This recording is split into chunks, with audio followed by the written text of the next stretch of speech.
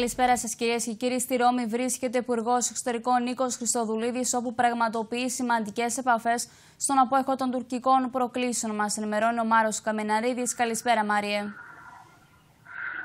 Κυρίες και κύριοι. Είχαμε Μάρια και κοινό ανακοινωθέν από ό,τι φαίνεται από την Ρώμη. Κοινό ανακοινωθέν από το Υπουργείο Εξωτερικών της Ρώμης και το Υπουργείο Εξωτερικών της Κύπρου εδώ στη Λευκοσία, Ιταλία και ε, Κύπρο πλέον έχουμε μια ε, κοινό ανακοινωθέν το οποίο κάνει ξεκάθαρες αναφορές. Η Ιταλία εξέφρασε την πλήρη αλληλεγγύη της προς την Κύπρο σε σχέση με τις συνεχιζόμενες παράνομες γεωτρικές δραστηριότητες της Τουρκίας στην Ανατολική Μεσόγειο που αγνούν πλήρως την κυριαρχία και τα κυριαρχικά δικαιώματα της Κύπρου.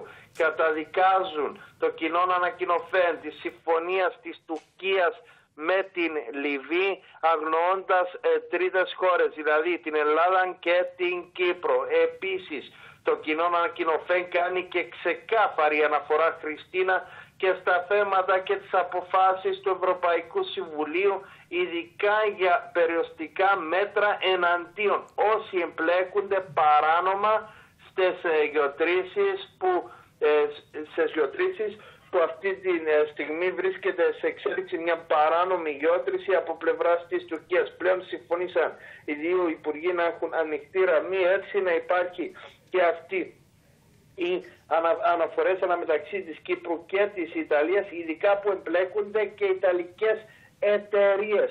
Το κοινό ανακοινωθέν καταδικάζει την στάση της Τουρκίας της ε, περιοχής, καλεί την Τουρκία σε καλή γειτονία, μάλιστα κάνει και αναφορές ότι ε, πρέπει να επιστρέψει στο διάλογο η Τουρκία. Και ευχαρίστησε την Κυπριακής Δημοκρατίας για την πρωτοβουλία της ε, Ιταλίας έτσι ε, να καλέσει την Τουρκία σε διάλογο ειδικά για την οροθέτηση της ΑΟΣ της ε, Κύπρου με την Τουρκία. Κάτι το οποίο βεβαίως η Τουρκία αρνείται να εμπλακεί αυτή τη δεδομένη στιγμή. Να αναφέρουμε ότι το κοινό ανακοινωθέν έχει ε, τελειώσει και οι συναντήσεις του Υπουργού στη Ρώμη έχουν σε πολιτικών επίπεδων έχουν ολοκληρωθεί. Ξέρουμε ότι το βράδυ θα έχει συνάντηση με το Κλάουδιο της Κάρτσιο, το Διευθύνων Σύμβουλο της εταιρείας ΕΝΙΣ, όπου εκεί αναμένεται να έχουμε σημαντικές ανακοινώσεις από πλευράς της εταιρείας, ειδικά για τις δραστηριότητες της, ε, εντός της αποκλειστικής οικονομικής ζώνης της Κυπριακής Δημοκρατίας. Χριστίνα. Μ' αρέσει, ευχαριστούμε. Στην Γαλλία βρίσκεται ο Έλληνας Πρωθυπουργός Κυριάκος Μητσοτάκης, όπου είχε συνάντηση με τον Γάλλο Πρόεδρο Εμμανουέλ Μακρόν. Καταδίκασαν από κοινού τις τουρκικές προκλήσεις με τον Γάλλο Πρόεδρο να δηλώνει ότι ανοίγει ένα νέο κεφάλαιο στις ελληνογαλλικές σχέσεις. Μας ενημερώνει ο Γιώργος Φωκιανός. Καλησπέρα, Γιώργο. Καλησπέρα από την Αθήνα, Χριστίνα, κυρίες και κύριοι. Να πούμε ότι ε, κατά τη διάρκεια των κοινών δηλώσεων ε, του Έλληνα Πρωθυπουργού με τον Γάλλο ε, Πρόεδρο, Εμμανουέλ Μακρόν, ε, ε, εξέφρασε ε, την ευχαρίστησή του για την επίσκεψη του Κυριάκου Μητσοτάκη και έκανε λόγο για ένα κοινό γεωπολιτικό και στρατηγικό όραμα Γαλλίας και Ελλάδας εκφράζοντας την υποστήριξη του Παρισιού στην Αθήνα και τη Λευκοσία απέναντι στις προκλητικές ενέργειες της Τουρκίας στην Ανατολική Μεσόγειο και την Κυπριακή ΑΟΣ. Ανέφερε ο κ. Μακρόν ότι συζητήθηκε εκτενώς στο κομμάτι της ασφάλειας σε ευρωπαϊκό επίπεδο και συγκεκριμένα στην Ανατολική Μεσόδιο. Όπως είπε, υποστηρίζει την Ελλάδα και την Κύπρο και καταδικάζει τις προκλητικές ενέργειες της Άγκυρας, ενώ ανέφερε ότι συζητήθηκε και το μνημόνιο Λιβύης-Τουρκίας, ε, το οποίο, όπως είπε χαρακτηριστικά, η Γαλλία το καταδικάζει. Ε, τις τελευταίες ημέρες ε, τόνισε ο Γάλλος πρόεδρος υπάρχουν τουρκικά πλοία στην Ανατολική Μεσόγειο αλλά και στρατιωτική παρουσία στην Λιβύη κάτι που όπως είπε αποτελεί παράφορη παραβίαστη των όσων συζητήθηκαν στη διάσκεψη του Βερολίνου.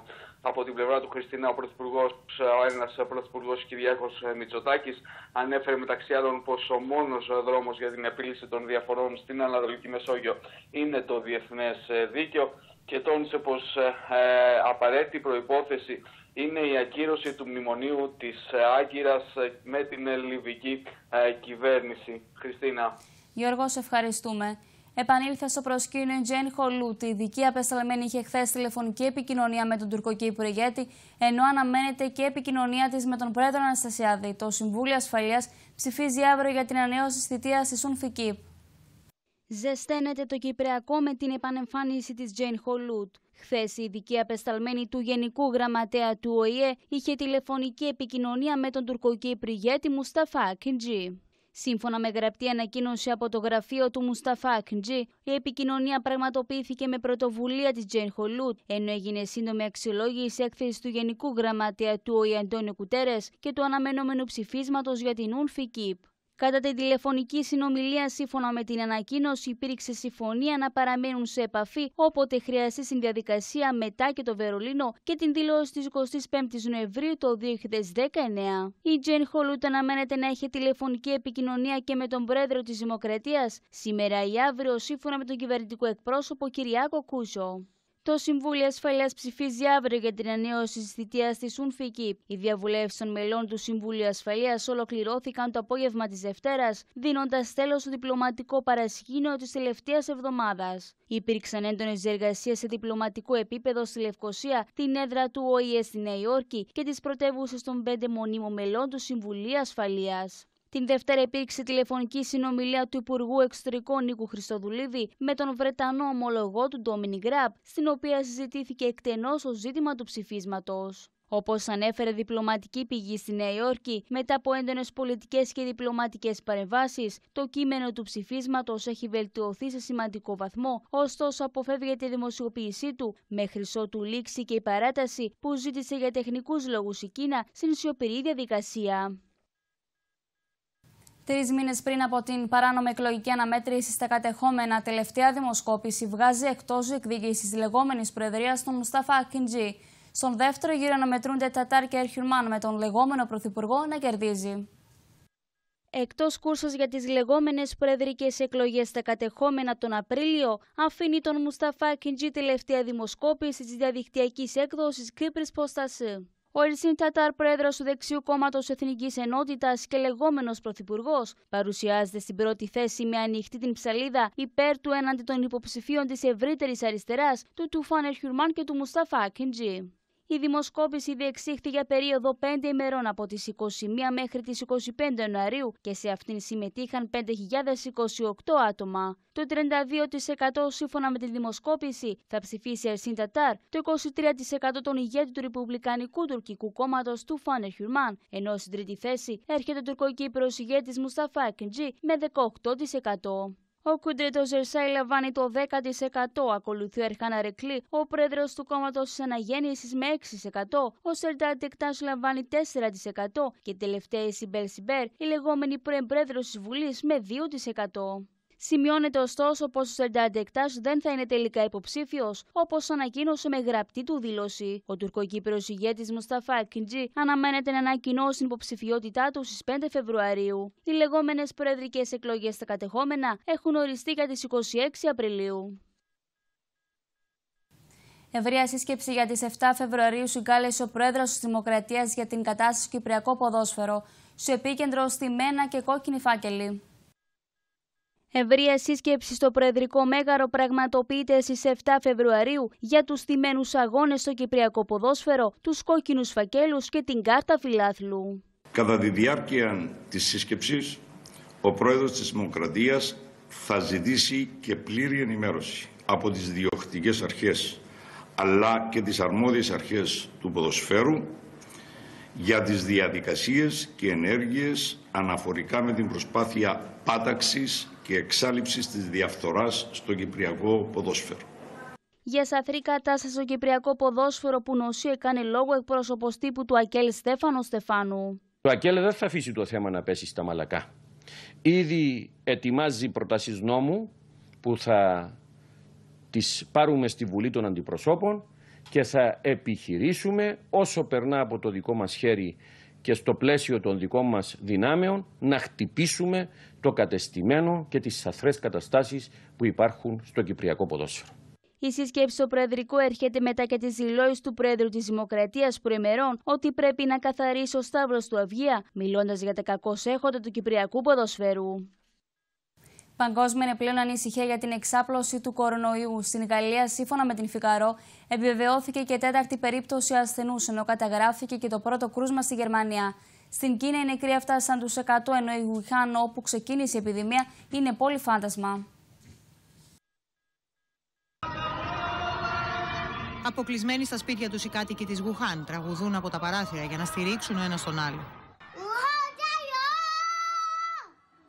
Η πόλη είναι άδεια. Στους δρόμους κυκλοφορούν μόνο ασθενοφόρα και ελάχιστα οχήματα. Το αεροδρόμιο όμως είναι γεμάτο από πολίτες άλλων χωρών που περιμένουν να φύγουν από την πόλη. Οι περισσότερες χώρες του εξωτερικού ήδη έχουν προχωρήσει στις διαδικασίες για να τους απομακρύνουν. It's been a bit of a nightmare. I've gone through the first medical checks. Now I'm in a line here to get onto uh, what is basically the next the next step is filling in the documentation. Most are scared and yeah would like to be repatriated now. Το πρώτο κρούσμα στη Γερμανία είναι γεγονός και μάλιστα πρόκειται για άνθρωπο που δεν είχε ταξιδέψει στην Κίνα. Κόλλησε τον κοροναϊό από Κινέζα συνεργάτηδά του, η οποία παρουσίασε συμπτώματα όταν πια είχε φύγει από το Μόναχο. Angst kriegt man davon. Wenn sowas kommt in unserem Land. Αντίστοιχη η περίπτωση του πρώτου κρούσματος στην Ιαπωνία, που στέλνει αεροσκάφος για να πάρει τους πολίτες της. Ο άνδρας που νόσησε είχε συνοδεύσει ένα γκρουπ Κινέζων από τη Γουχάν πριν μερικές μέρες. Any situation, any development on any given day now could trigger another emergency committee and a re-evaluation of the situation. It's a, it's a fluid scenario. Στην Κίνα οι νεκροί ξεπερνούν πλέον τους 100. Στην επαρχία Χουμπέι παντού γίνονται έλεγχοι, με τον κόσμο να εκφράζει πια την ανησυχία του. 现在感觉有点紧张，很多是有点紧张。今早的研发出疫苗了。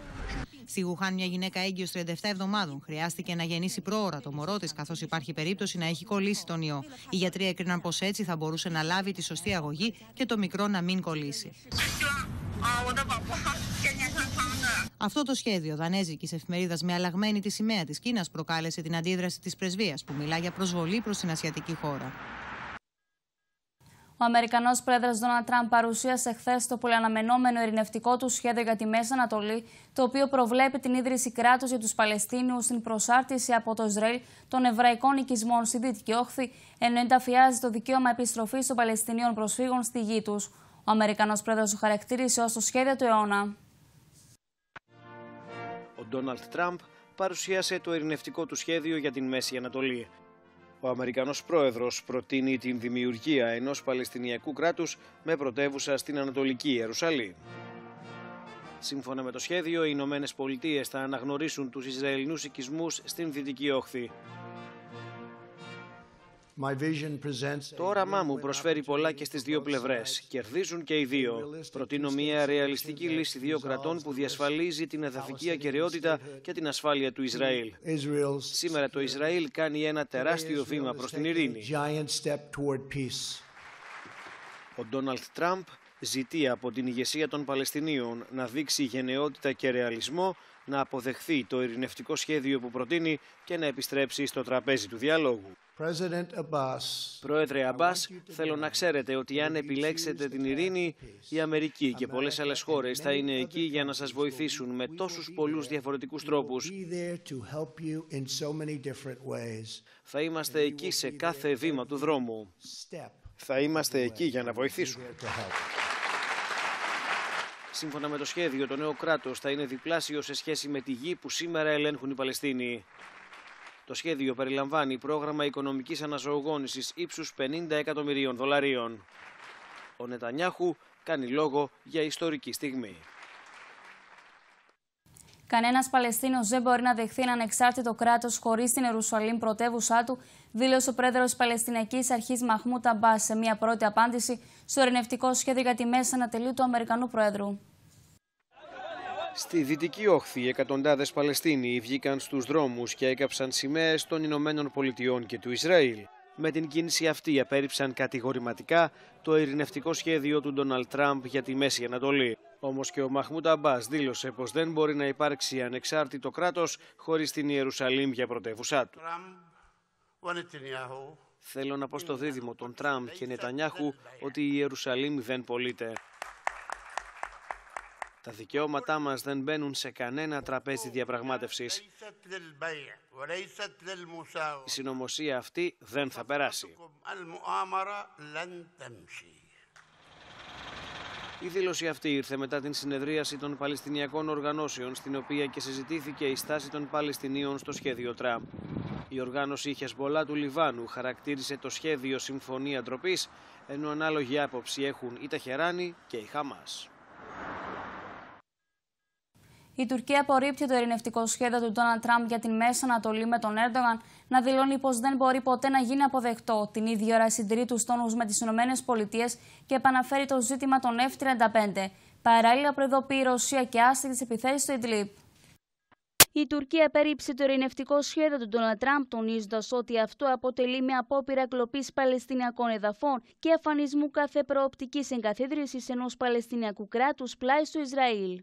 Σε ανακοίνωσή του, το τουρκικό Υπουργείο Εξωτερικών αναφέρει ότι αυτό το σχέδιο είναι ένα σχέδιο προσάρτησης που στόχος του είναι να σκοτώσει τη λύση των δύο κρατών και να κλέψει παλαιστινιακά εδάφη, χαρακτηρίζοντας την εισηγενή προτάσεις του Ντόναλτ Τραμπ. Σε δηλώσει του Ταγί Μπέρντογαν κατά την επιστροφή του από την Σενεγάλη, είπε ότι το σχέδιο του Ντόναλτ Τραμπ δεν μπορεί ποτέ να γίνει αποδεκτό, αφού αυτό είναι ένα σχέδιο που αγνοεί τα δικαιώματα των Παλαιστινίων και νομιμοποιεί την κατοχή του Ισραήλ. Την ίδια ο Έρντογαν ανοίγει νέα μέτωπα μέρα με τη μέρα, ο οποίος λίγη ώρα μετά τα πυρά που εκτόξευσε κατά του Αμερικανού Προέδρου με φόντο το ειρηνευτικό σχέδιο για τη Μέση Ανατολή, επανήλθε και αναφέρθηκε στους 400 και στο πρόγραμμα των F-35. Η S-400 είναι μια τελειωμένη υπόθεση. Όσο για τα F-35, θα μας δώσουν τα χρήματα μας πίσω ή θα μας δώσουν τα αεροπλάνα, τόνισαν βάζοντα τόνους.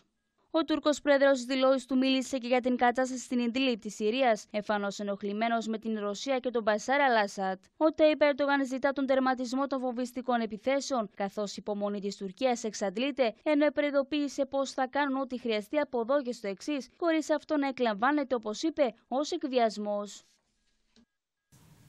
Ολοκληρώθηκε, κυρίες και κύριοι, πριν από λίγο η τηλεφωνική επικοινωνία της ειδική απεσταλμένη Τζένι Χολούτ με τον πρόεδρο της Δημοκρατίας. Πάμε και πάλι στο Μάριο Καμεναρίδη για τις λεπτομέρειες. Μάριε. Χριστίνα, κυρίες και κύριοι, να αναφέρομαι ότι πριν λίγο είχε τηλεφωνική επικοινωνία ο πρόεδρος της Δημοκρατίας με την ειδική σύμβουλο την κυρία Τζέι Χολούτ.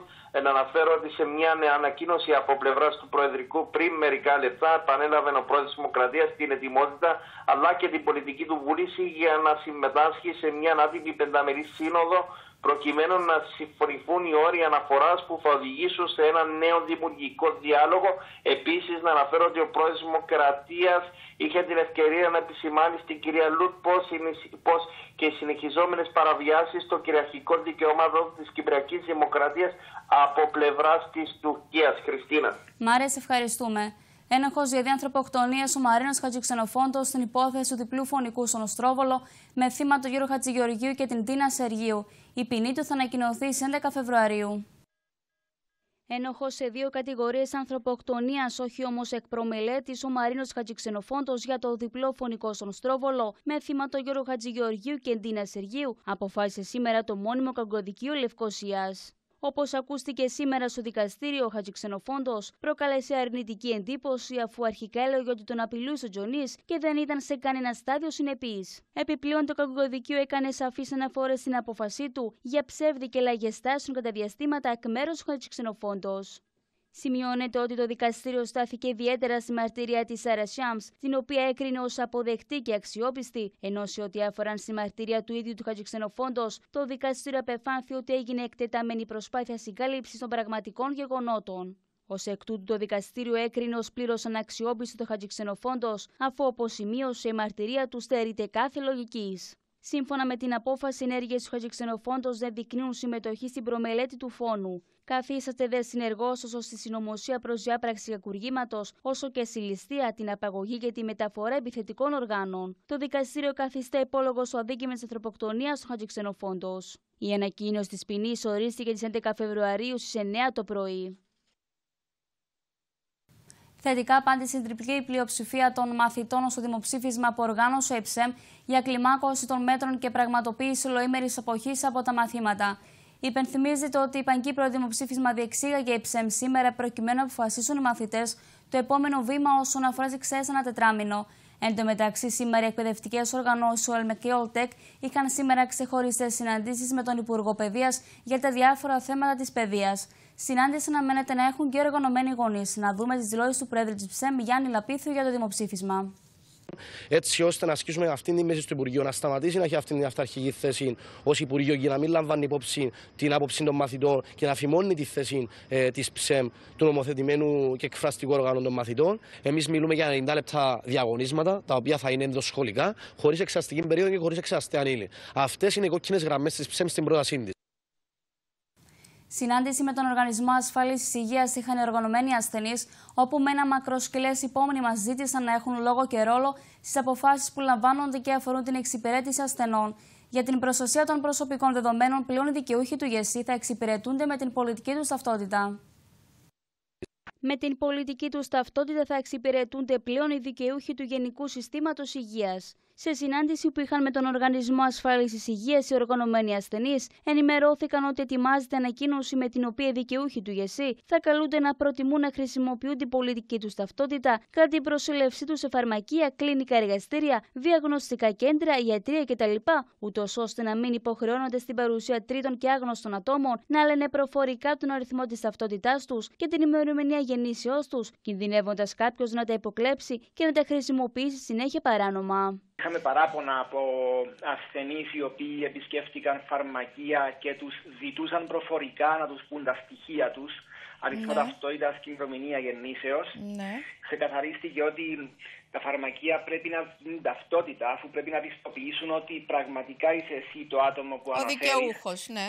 Ακριβώς. Ναι. Και δεν χρειάζεται να, να, να λέμε προφορικά τα στοιχεία μας, και να τα ακούει οποιοδήποτε άλλος mm. βρίσκεται στο φαρμακείο. Σε ό,τι αφορά τα υπόλοιπα θέματα που συζητήθηκαν κατά την συνάντηση της ΟΣΑΚ με τον ΟΑΗ, η Ομοσπονδία Συνδέσμων Ασθενών Κύπρου ζήτησε όπως εργονμένοι ασθενείς έχουν λόγο αλλά και έγκαιρη ενημέρωση για αποφάσεις οι οποίες λαμβάνονται από τον οργανισμό και σχετίζονται με την εξυπηρέτηση των ασθενών. Συζητήθηκε επίσης το θέμα καθορισμού ποιοτικών κριτηρίων και ο ΑΕ και ο ΣΑΚ συμφώνησαν ότι τα ποιοτικά κριτήρια για τις υπηρεσίες του ΓΕΣΥ είναι ένα ζήτημα το οποίο πρέπει να αντιμετωπιστεί με προσοχή και σοβαρότητα, χωρίς όμως άλλες καθυστερήσεις.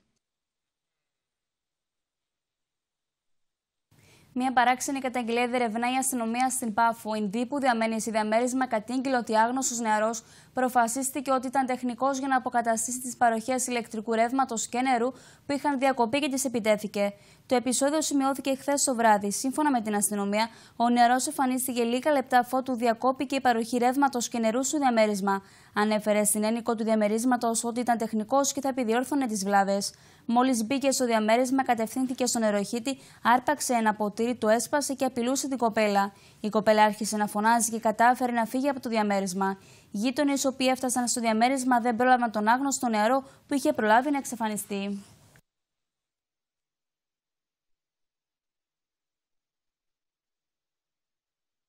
Και να δούμε τώρα την κίνηση των μετοχών στο χρηματιστήριο στη μία συναλλάγματος. Το χρηματιστηριακό δελτίο είναι μία προσφορά της Total Care. Η σκόνη που σέβεται το περιβάλλον και την οικοκυρά. Total Care. We Care.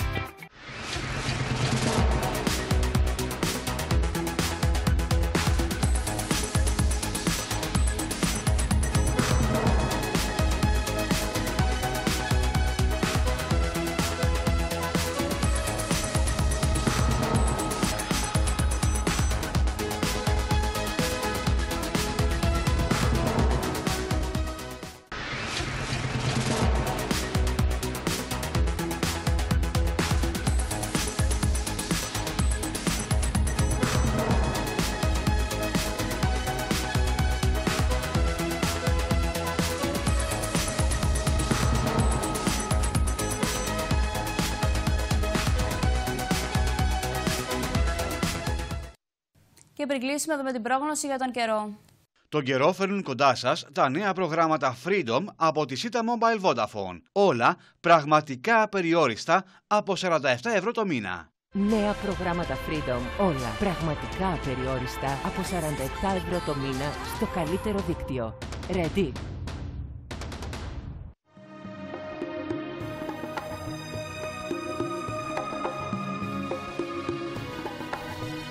Απόψε ο καιρό θα παραμείνει κυρίως συνεφιασμένος, ενώ προς αυγινές κυρίως ώρες ενδέχεται τοπικά να σχηματιστεί αραιομίχλη και χαμηλή νέφωση. Η θερμοκρασία θα πέσει γύρω στου 6 βαθμούς στο εσωτερικό, γύρω στου 9 στα παράλια και γύρω στο 0 στο ψηλότερο ορεινό, που τοπικά αναμένεται να σχηματιστεί παγετός. Αύριο ο καιρός θα παραμείνει κυρίως συνεφιασμένος και το πρωί αναμένονται τοπικές κυρίως ελαφρές βροχές. Το απόγευμα και το βράδυ, ωστόσο, αναμένονται τοπικά βροχές ή και μεμονωμένες καταιγίδες και στα ψηλότερα ορεινά χιονόπτωση. Η θερμοκρασία θα έρθει γύρω στους 16 βαθμούς στο εσωτερικό και στα παράλια και γύρω στους 8 βαθμούς σε ψηλότερα ορεινά.